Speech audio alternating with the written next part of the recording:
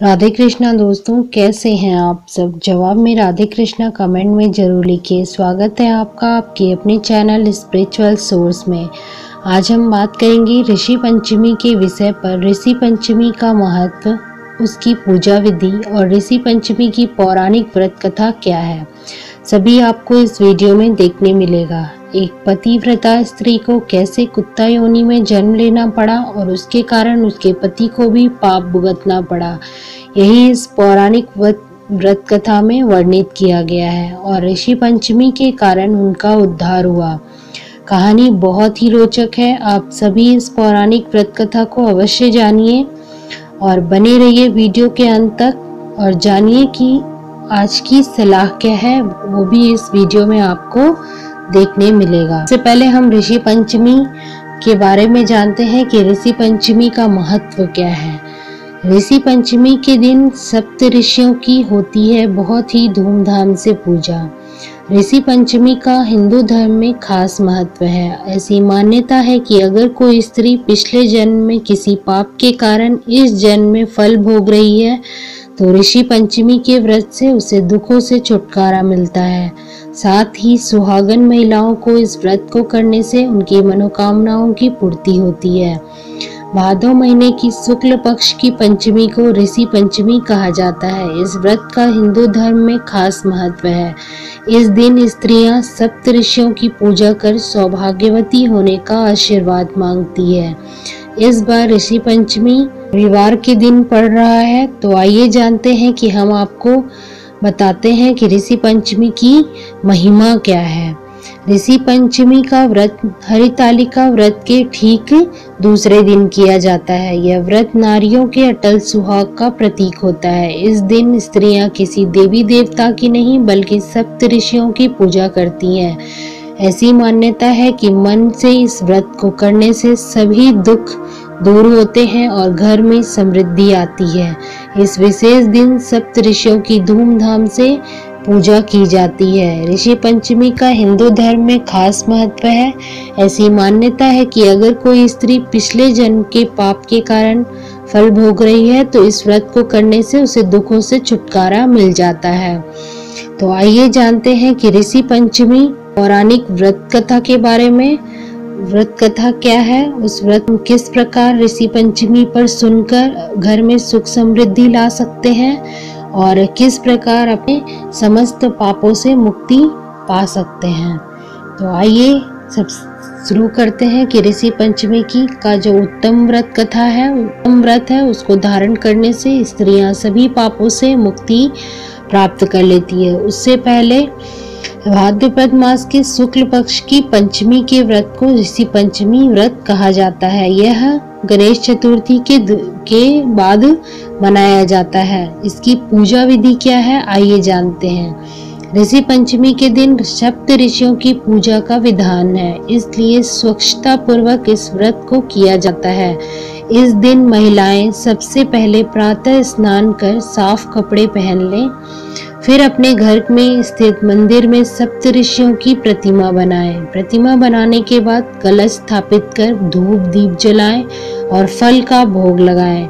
साथ ही महिलाएँ ऋषि पंचमी के दिन अन्न ग्रहण न कर फलहार करें व्रत के दूसरे दिन ब्राह्मणों को भोजन करा के दान दें और उसके तत्पश्चात भोजन करें ऋषि पंचमी के दिन सप्तऋषियों का नाम लेने से भी बहुत पुण्य मिलता है। नाम इस प्रकार है, आप भी इसे अवश्य लें। पोत्री भरद्वाजो विश्वामित्रोत्थ गौतम, जमदग्नि वशिष्ठ सप्तैते ऋषि स्मृता दहन्तु पापं सर्वगृहणत्वर्घ्य नमो नमः।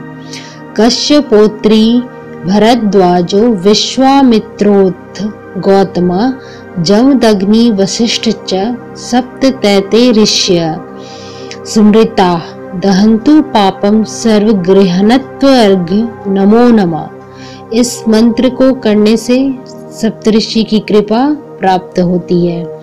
आइए जानते हैं कि ऋषि पंचमी की पौराणिक व्रत कथा क्या है। युधिष्ठिर ने प्रश्न किया कि, हे देवेश, मैंने आपके मुख से अनेकों व्रत का श्रवण किया है। अब आप कृपा करके पापों को नष्ट करने वाला कोई उत्तम व्रत सुनावे राजा के इन वचनों को सुनकर श्री कृष्ण जी बोले कि, हे राजेंद्र, अब मैं आपको ऋषि पंचमी का उत्तम व्रत सुनाता हूँ, जिसको धारण करने से स्त्री समस्त पापों से मुक्ति प्राप्त कर लेती है। नरोत्तम, पूर्व समय में वृतासुर का वध करने के कारण इंद्र को ब्रह्म हत्या का महान पाप लगा था। तब ब्रह्मा जी ने कृपा करके इंद्र के उस पाप को चार स्थानों में बांट दिया। पहला, अग्नि की ज्वाला में, दूसरा, नदियों के बरसाती जल में तीसरा पर्वतों में और चौथा स्त्री के रज में। उस रजस्वला धर्म में जाने अनजाने उससे जो भी पाप हो जाते हैं, उनकी शुद्धि के लिए ऋषि पंचमी का व्रत करना उत्तम माना जाता है। व्रत समान रूप से चारों वर्णों की स्त्रियों को करना चाहिए। इसी विषय में एक प्राचीन कथा का वर्णन मैं करता हूँ। सतयुग में विदर्भ देश में स्नेहजीत नामक राजा हुए। वे प्रजा के पुत्रवत पालन करते थे। उनके आचरण ऋषि के समान थे। उनके राज्य में समस्त वेदों का ज्ञाता, समस्त जीवों का उपकार करने वाला सुमित्र नामक एक कृषक ब्राह्मण निवास करता था। उनकी स्त्री जयश्री पतिव्रता थी। ब्राह्मण के अनेक नौकर चाकर भी थे।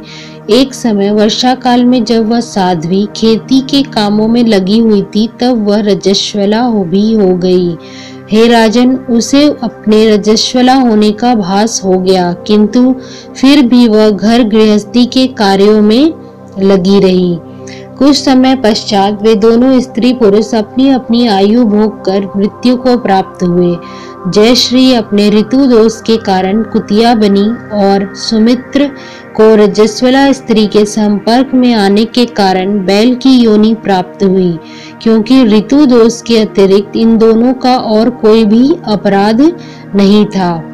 इस कारण इन दोनों को अपने पूर्व जन्म का समस्त विवरण ज्ञात रहा। वे दोनों कुतिया और बैल के रूप में रहकर अपने पुत्र सुमित के यहाँ पलने लगे। सुमित धर्मात्मा था और अतिथियों का पूर्ण सत्कार किया करता था। अपने पिता के श्राद्ध के दिन उसने अपने घर ब्राह्मणों को जिमाने के लिए नाना प्रकार का भोजन सामग्री बनवाया। वह ब्राह्मणों को निमंत्रण दिया और अनेक प्रकार के भोजन सामग्री उनके सामने परोसा। उसकी स्त्री किसी काम से नहीं हुई थी। तब एक सर्प ने आकर रसोई के बर्तन में विश्वमन कर दिया। सुमित की माँ कुतिया के रूप में बैठी हुई यह सब देख रही थी। अतः उसने अपने पुत्र को ब्रह्म हत्या के पाप से बचाने की इच्छा से उस बर्तन को स्पर्श कर लिया। सुमित की पत्नी से कुतिया का यह कृत सहा न गया और वह उसी समय लौट लौट आई और उसने यह कृत्य को देख लिया। तब उसने गुस्से में आकर उसने एक जलती हुई लकड़ी कुतिया के ऊपर दे मारी। वह प्रतिदिन रसोई में जो जूठन आदि शेष रहती थी, उस कुतिया के सामने डाल दिया करती थी। किंतु उस दिन क्रोध के कारण वह भी उसने उस कुतिया को खाने को नहीं दिया। तब रात्रि के समय भूख से व्याकुल होकर वह कुतिया अपने पूर्व पति के पास आकर बोली, हे नाथ आज मैं भूख से मरी जा रही हूँ। वैसे तो प्रतिदिन मेरा पुत्र खाने को मुझे कुछ देता था, किंतु आज उसने मुझे कुछ भी नहीं दिया है। मैंने सांप के विष वाले खीर के बर्तन को ब्रह्म हत्या के भय से छूकर अपवित्र कर दिया था।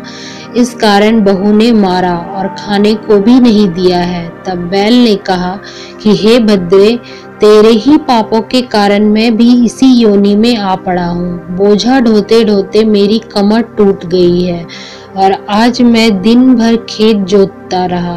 मेरे पुत्र ने भी आज मुझे भोजन नहीं दिया और ऊपर से मारा भी खूब है। मुझे कष्ट देकर श्राद्ध को व्यर्थ ही किया है। अपने माता पिता की इन बातों को उनके पुत्र सुमित ने सुन लिया। उसने उसी समय जाकर उनको भर पेट भोजन कराया और उनके दुख से दुखी होकर वन में जाकर उसने ऋषियों से पूछा कि, हे स्वामी, मेरे माता पिता किन कर्मों के कारण इस योनि गुप्त हुए हैं और किस प्रकार उससे मुक्ति पा सकते हैं? इस प्रकार के वचन, सुमित के वचन को सुनकर, श्रवण कर सर्व तपा नामक महर्षि दया करके बोले कि पूर्व जन्म में तुम्हारी माता ने अपने छिंकल स्वभाव के कारण रजस्वला होते हुए भी घर गृहस्थी की समस्त वस्तुओं को स्पर्श किया था।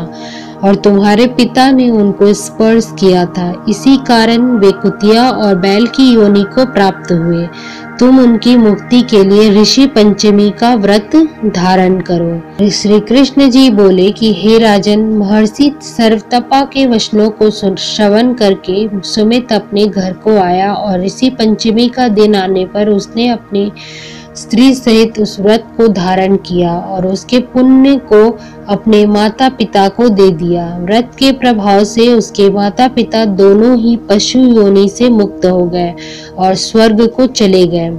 जो भी स्त्री इस व्रत को धारण करती है, वह समस्त सुखों को पाती है। इसीलिए ऋषि पंचमी के दिन इस व्रत कथा को अवश्य सुनना चाहिए और सप्त ऋषि का जो मैंने आपको मंत्र बताया है, उस मंत्र को भी अवश्य एक बार पढ़ ले या सुन लें। ये जानते हैं कि आज की सलाह क्या है। आज की सलाह में मैं आपको समाज में हर काम में विफलता या अपयस मिलता हो तो आप यश कैसे पा सकते हैं, उसका उपाय मैं आज आपको इस वीडियो में बताऊँगी। आज की सलाह में मेरा यही रहेगा कि अगर आपको हर काम में विफलता प्राप्त हो रही हो या यश मिल रहा हो तो आप इस उपाय को करके यश की प्राप्ति कर सकते हैं।